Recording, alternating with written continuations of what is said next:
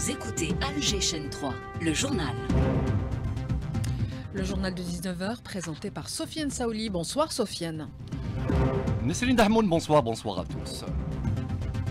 Abdelmajid Tebboune a prêté serment aujourd'hui pour un second mandat de président de la République, une cérémonie d'investiture au Palais des Nations. Abdelmajid Tebboune qui a prononcé un discours dans lequel il a salué le succès de la présidentielle du 7 septembre dernier et déroulé les priorités de son mandat présidentiel dans tous les secteurs, notamment économiques.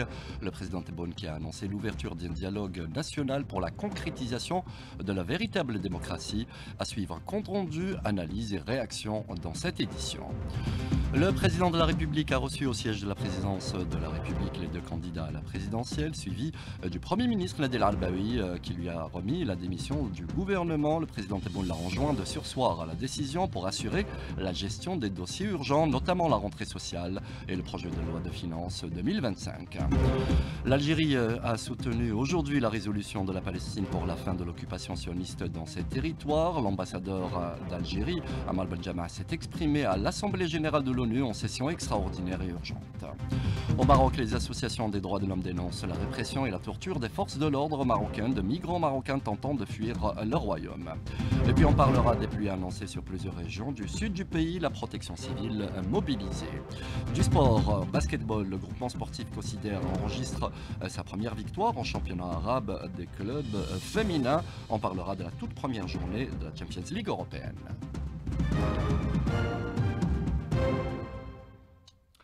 Mesdames, Messieurs, bonsoir. Abdelmajid Tebboune a entamé officiellement ce mardi son second mandat à la présidence de la République, une prise de fonction qui fait suite à la prestation de serment cette mi-journée au Palais des Nations lors d'une cérémonie en présence des personnalités de l'État et de hauts cadres de la nation. Le président de la République qui s'était rendu par la suite au sanctuaire des martyrs pour se recueillir à la mémoire des martyrs de la glorieuse guerre de libération nationale, lui qui a reçu par la suite au siège de la présidence de la République les deux candidats à l'élection présidentielle du 7 septembre dernier, à savoir Abdalali Hassani Chilif du MSP et Youssef Aouchiche du Front des Forces Socialistes.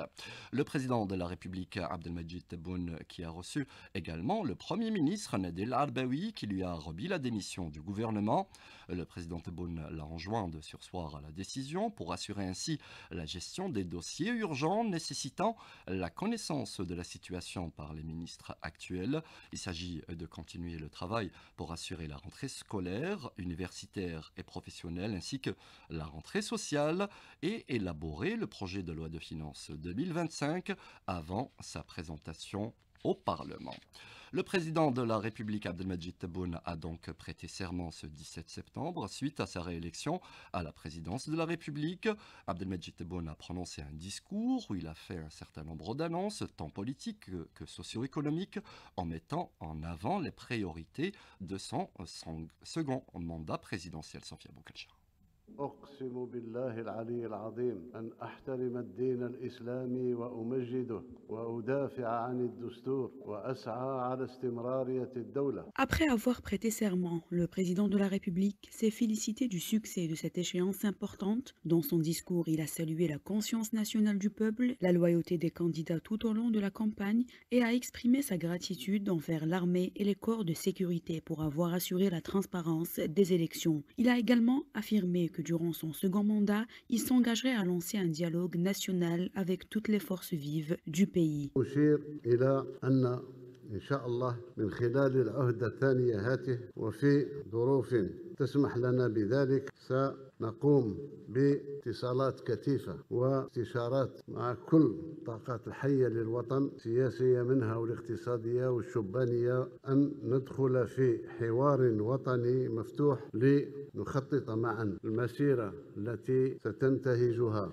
بلادنا فيما يخص تجسيد الديمقراطية الحقة مش ديمقراطية شعارات ديمقراطية التي تعطي السيادة حقيقة لمن يستحقها Le président de la République s'est également engagé à présenter le bilan de son premier mandat devant les deux chambres du Parlement avant la fin de l'année. هو خطاب الرئيس أمام البرلمان لحالة الأمة في آخر السنة إن شاء الله تكون لي فرصة في آخر سنة أمام البرلمان أن أعطي تفاصيل كل التفاصيل فيما يخص هذه الأرقام فيما يخص العمليات المقبلة Dans son discours, Abdelmajid Tebboune a promis de poursuivre les réalisations déjà entamées en détaillant les grands projets, notamment en matière de sécurité alimentaire, d'eau, de logement et de projets d'investissement.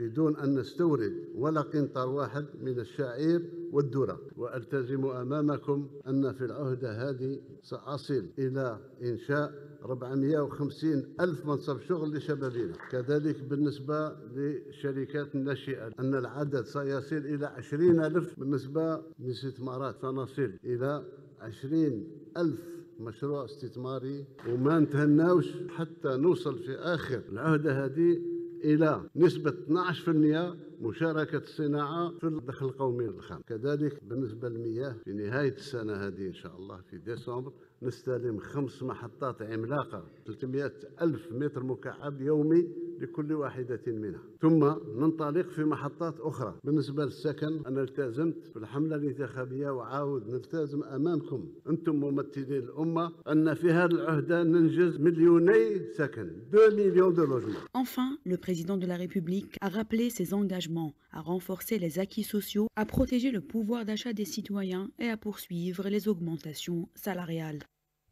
La chaîne 3 de cet euh, événement politique national intervenant sur nos ondes lors d'une émission spéciale, l'investiture du président de la République Abdelmajid Tebboune, présentée par Souhil El-Hajmi, le politologue Badis Renissa a commenté le discours d'investiture, évoquant ainsi l'émotion qui s'en est dégagée et soulignant la vision du chef de l'État d'union et de cohésion nationale.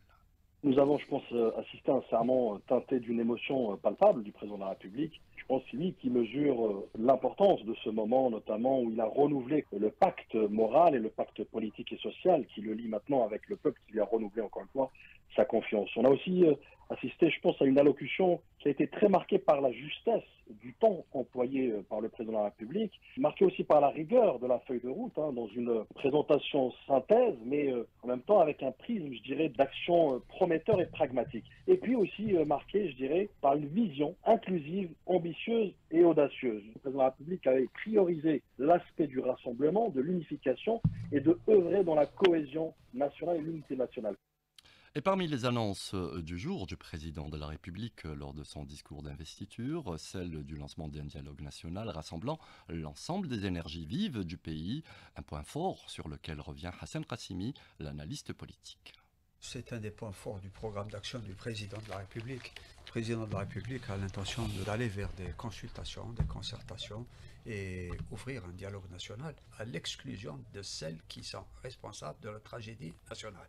Donc euh, c'est un débat qui sera encadré et l'objectif de ce dialogue national est d'aller vers un consensus national sur toutes les questions les plus importantes parce qu'on ne peut pas avancer. Le président de la République est conscient des exigences de l'heure et des exigences de la situation et aussi et surtout des défis futurs. Donc euh, il faudrait faire corps commun pour pouvoir avancer euh, vraiment d'une manière très forte et de manière puissante aller euh, vers la prise en charge de tous ces défis. Parce que le deuxième mandat, c'est à la limite, ce n'est pas uniquement le mandat du président de la République, c'est le mandat de tout le peuple algérien. Et c'est un discours qui doit absolument provoquer le déclic.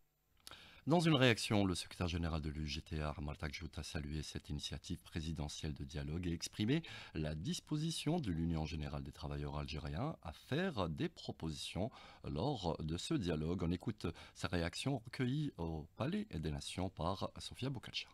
Faut qu'il y ait de la réaction, dialogue, qu'il soit politique, social, culturel. Il faut apprendre déjà à écouter et apprendre aussi à discuter et à dialoguer. Ça, c'est quelque chose de très important. Il va falloir ne pas rater le rendez-vous ce qu'on appelle l'objectif résultat. Faut engager la réflexion de tout, y compris le dialogue sur des questions de société. من خلال الحوار هذا. نشارك ونخلق مبادرات ونقدم اقتراحات من خلال هذا الحوار الوطني. À 19h09 nous poursuivons ce dossier consacré à l'investiture du président de la République aujourd'hui. Sa prestation de serment. On reviendra dans quelques instants sur les défis tant économiques que diplomatiques de l'Algérie en ce second mandat du président Tebboune. Le temps de prendre connaissance de son parcours depuis son diplôme de l'École nationale d'administration 1969 et tous les postes qu'il a occupés. Sophia Boukalcha. Abdelmajid Tebboune, l'homme d'État natif de Meshria en 1945, est réélu à la tête du pays avec plus de 84% des voix. C'est d'abord le choix de l'expérience, puisque le président Enark a fait ses preuves dans différents paliers de l'administration, en occupant plusieurs postes. Avant d'entamer une carrière politique, Abdelmajid Tebboune a été en charge de plusieurs portefeuilles ministériels dès 1991, avant de diriger le gouvernement en 2017 brièvement, en raison d'un désaccord profond avec un système qui sera défait un peu plus tard dans un mouvement populaire sans précédent. Le Hirak chamboulera l'ordre établi au détriment du citoyen et mènera à l'organisation d'une élection présidentielle remportée par Abdelmajid Tebboune dès le premier tour. S'ensuivra la mise en œuvre du programme pour lequel il s'était engagé, 54 résolutions qu'il s'attellera à concrétiser à travers des réformes politiques, à commencer par la révision de la loi fondamentale, l'amélioration de la vie sociale du citoyen et l'ouverture d'un chantier économique dans un contexte international des plus défavorables. Ce chantier va s'élargir et se consolider puisque ce mandat est décrété économique par excellence. L'Algérie, elle, ne dévie pas de ses principes fondamentaux en politique étrangère, la défense des intérêts de l'Afrique et le règlement des causes justes que sont la question palestinienne et sahraoui. C'est par ses constantes, sa loyauté au sacrifice des chouhada et sa fidélité au serment de novembre que l'Algérie restera debout et forte, quelles que soient les difficultés. Les priorités donc de ce mandat présidentiel sont affichées. Le peuple algérien a, d'ailleurs élu le président de la République sur cette base. Abdelmajid Tebboune qui a affirmé que ce mandat est un mandat économique par excellence. Des défis nombreux attendent le pays en la matière, la consolidation de l'économie nationale et la diversification des ressources de revenus demeurent des priorités. Des réformes ont été déjà engagées ces dernières années pour stimuler la croissance économique. Pour appuyer davantage ces démarches, la promotion des secteurs stratégiques est un indispensable. Ce sont autant de défis économiques qui attendent le président de la République. Nabil Djma, économiste. Parmi les secteurs stratégiques que le président doit prendre en considération, le développement de l'agriculture particulièrement dans les zones sahariennes et essentiellement pour atteindre l'autosuffisance alimentaire. Cela inclut des investissements dans les infrastructures agricoles, aussi la diversification industrielle, la promotion des secteurs manufacturiers, notamment de la construction, de la pétrochimie et de la transformation des ressources naturelles locales. La mise à niveau des PME constitue également un défi crucial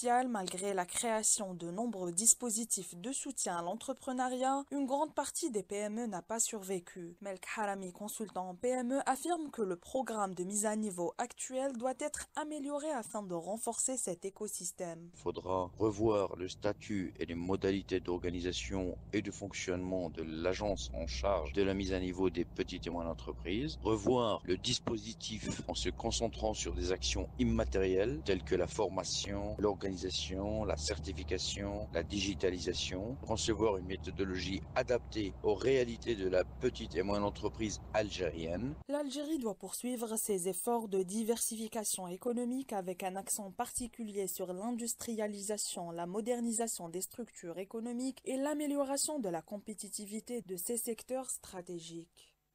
La politique étrangère de l'Algérie occupe elle aussi bonne place dans les priorités du président de la République. D'ailleurs, depuis euh, son premier mandat, soit préserver et renforcer les réalisations de ces dernières années sur la scène internationale de l'Algérie, étant un acteur clé pour la stabilité, notamment dans notre région. Marlef Sahel est professeur en relations internationales. Il est contacté par la Slimani c'est important pour notre pays de persévérer sur la voie de la défense de tout ce qui est lié à la légalité internationale, de tout ce qui est lié à la nécessité de défendre les principes essentiels et fondamentaux du droit international contemporain, notamment les causes de libération, les causes justes, et à leur tête la cause haraoui et la cause palestinienne, sur lesquelles il faudrait être intransigeant parce que ça relève de notre ADN politique et historique.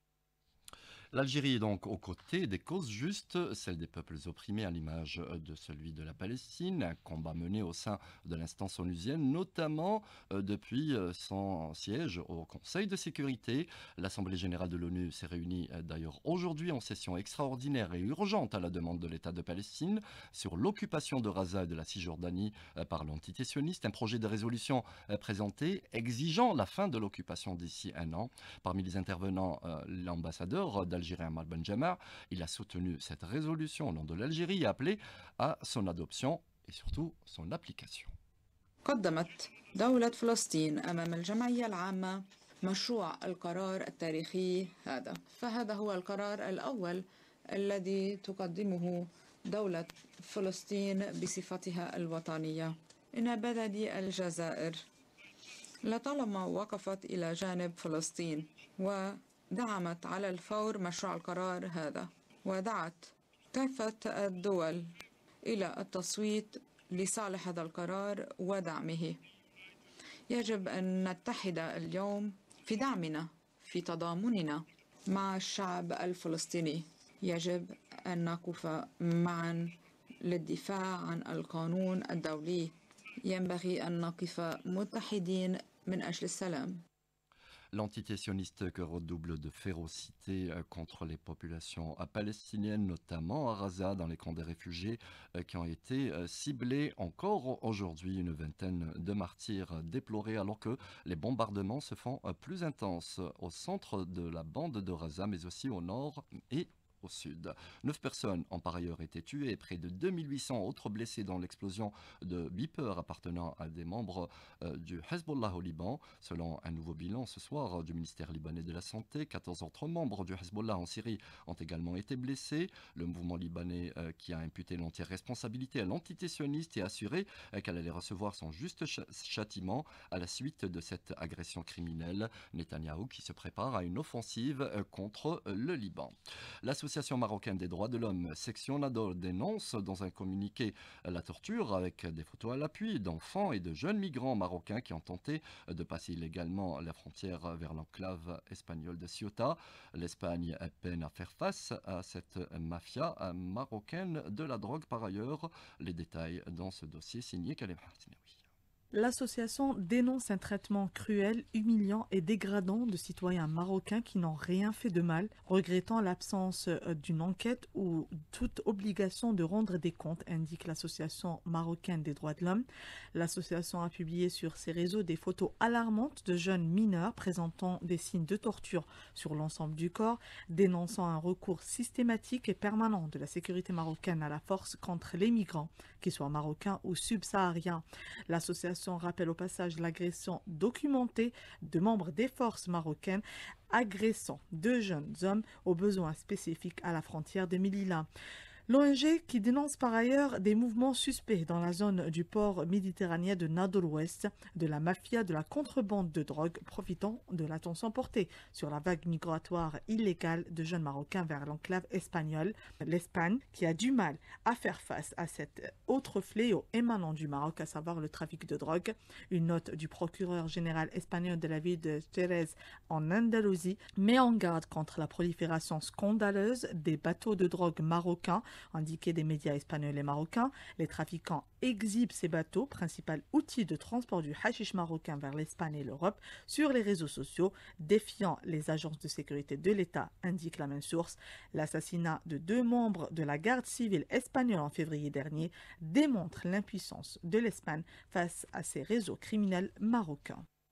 Vive tension au Mali où plusieurs attaques ont eu lieu ces dernières heures à Bamako, la toute dernière ayant ciblé le siège de la gendarmerie euh, mitoyenne euh, de l'aéroport international de la capitale malienne, indiquent les agences de presse internationales. Selon la télévision nationale malienne, des terroristes ont été neutralisés, leur ratissage est en cours et affirme que la situation est sous contrôle. Une vingtaine de personnes ont été arrêtées en lien avec ces attaques revendiquées par un groupe terroriste affilié à Al-Qaïda, rapportent les médias internationaux. Et puis en France, le projet de résolution, un projet de résolution concernant la destitution du président Emmanuel Macron jugé recevable par le bureau de l'Assemblée nationale française par 12 voix contre 10, un précédent dans l'histoire de la France, une proposition déposée par 81 députés issus des rangs des insoumis écologistes et communistes appuyés par des personnalités politiques influente. Retour à l'actualité nationale, direction le sud, où les alertes météo euh, se, poursuivent. Une nouvelle alerte a ainsi été émise par Météo Algérie concernant euh, ces wilayas de l'intérieur et du sud. Euh, des pluies qui marquent une période de transition assez délicate, expliquée par Walia Benakta de l'Office national de la météo. L'automne est connu sur nos régions comme étant une période où on enregistre une pluviométrie tout de même importante. Cette période-là aussi est caractérisée par le déblocage des centres d'action. Responsables du type de temps bougent par rapport à l'été parce que pendant l'été, ces centres d'action sont presque immobiles. Actuellement, ce mouvement de ces centres d'action permet tout de même un redressement d'un flux qui est de sud-ouest et ce flux-là, il est humide aussi. Il va favoriser la remontée d'air humide favorable à la formation orageuse et favorable au développement de cellules orageuses qui parfois dans des quantités appréciables par endroit sur les régions de l'intérieur ainsi que sur les hauts plateaux et même sur la région du sud-ouest du pays la protection civile qui maintient sa vigilance, mobilisation également dans ces wilayas concernés par les alertes météo, notamment euh, du côté du sud euh, du pays, euh, dans la wilaya de Janet. Parlons à présent de culture et à l'occasion de l'investiture du président de la République, de l'intérêt porté au secteur du cinéma, à cette industrie, une priorité, vous le savez, du président de la République dès son premier mandat avec des réformes engagées et des perspectives prometteuses pour les cinq prochaines années, nous dit Fatah Boumeti. Parmi les priorités du président de la République Abdelmajid Tebboune figure la relance du secteur cinématographique. De nombreuses avancées ont été réalisées dans ce domaine afin de faire briller le talent algérien et de redonner au 7e art sa place tant sur le plan national qu'international. La réhabilitation des infrastructures telles que les salles de cinéma ainsi que le soutien financier aux jeunes réalisateurs et producteurs sont au cœur de cette dynamique. Missoum Laroussi, inspecteur général au niveau du ministère de la Culture et des Arts. Il y a la promulgation de la loi euh, numéro 24-27 du 29 avril 2024 euh, relative à l'industrie cinématographique, qui fixe les dispositions euh, applicables à l'industrie cinématographique, notamment celles relatives à la production, à la distribution, à l'exploitation des films cinématographiques et à leur promotion sur tout support, ainsi que l'organisation des activités y afférentes. Cette loi, elle s'inscrit euh, à ce titre l'Algérie dans une nouvelle ère de son histoire culturelle et artistique. Parmi ses objectifs, c'est la relance des industries créatives et culturelles et cinématographiques à travers les incitations et la garantie d'un climat favorable aux producteurs. L'industrie cinématographique, elle va tirer vers le haut tous les industries créatives et culturelles. Il y a un autre euh, objectif, c'est l'encouragement euh, de l'investissement. Il y a aussi la libération des initiatives en, vue euh, diriger l'Algérie en pôle euh, régional et international de production euh, cinématographique. Place qui qu'occupe euh, ce secteur dans la stratégie de développement durable du pays et qui est dans le programme de Monsieur le Président de la République. De plus, l'accent est mis sur la participation des œuvres algériennes à des festivals internationaux, permettant ainsi de mieux faire connaître la créativité et l'originalité des professionnels du secteur algérien. Et on arrive à la page sportive de cette édition avec vous, euh, Nessima Djaout. Bonsoir. Bonsoir, Sofiane. Et euh, du basketball, cette bonne prestation, la première euh, du victoire au championnat arabe des clubs féminins, celle du groupement sportif Considère. Tout à fait, le groupement sportif euh, Considère, euh, les basketteuses euh, du groupement sportif de Considère ont dominé leur adversaire, l'équipe irakienne de Gaz du Sud, sur le score de 76 à 62 en match comptant pour la troisième journée du championnat arabe des clubs féminins disputé cet après-midi à Al-Fahis en Jordanie. C'est le premier succès des filles de Considère dans le tournoi après les défaites concédées face à la formation coétienne d'El Fatet 67 à 71 et face au club saoudien d'El Ala 58 à 60. Après une journée de repos programmée demain mercredi, les basketteuses algériens joueront leur quatrième match contre l'Uihda de Syrie, donc jeudi 19 septembre, avant de boucler la phase éliminatoire face au club organisateur d'El Fahis de Jordanie. Ça sera vendredi 20 septembre. Selon la formule de compétition, les quatre premiers clubs à l'issue de la première phase se qualifieront en demi-finale, qui est prévu. Les, demi-finales sont prévues dimanche 22 septembre. Place au foot à présent et cette entame de la Champions League européenne et toute première journée qui a déjà commencé. Oui, avec déjà des, résultats partiels. Hein. On joue la 83e minute de jeu. La Juventus mène face au la Juventus, l'équipe italienne mène face à l'équipe des Pays-Bas du PSV Eindhoven 3 buts à 0 alors que euh, du côté de Young Sports, l'équipe suisse qui est dominée à domicile à la 78e minute de jeu 3 buts à 0 pour Aston Villa face à l'équipe de l'international algérien Jawan Hadjem qui est titulaire aujourd'hui. Donc euh, son équipe est menée sur son terrain 3 à 0. Et puis il y aura également ce soir une superbe affiche entre Milan AC et Liverpool à partir de 20h. Le Bayern de Munich reçoit le Dynamo de Zagreb, l'équipe croate, et Lille se déplacera, l'équipe française, Lille se déplacera au Portugal pour affronter le Sporting du Portugal. Et puis un mot, si vous êtes supporter du Shabab de Belouzdad, sachez que la vente des billets est programmée pour aujourd'hui. Ils sont disponibles sur la plateforme Kirati donc pour aller euh, donc soutenir le Shabab de Belouzdad face à l'Ice Douane du Burkina Faso. Match prévu vendredi prochain à 18h à Oran pour le compte du deuxième tour préliminaire de la Champions League africaine. Merci Nessim Adjaout pour toutes ces informations sportives, les dernières de cette édition réalisée par Sida Letobal. Tout de suite, voici les prévisions météo et c'est signé.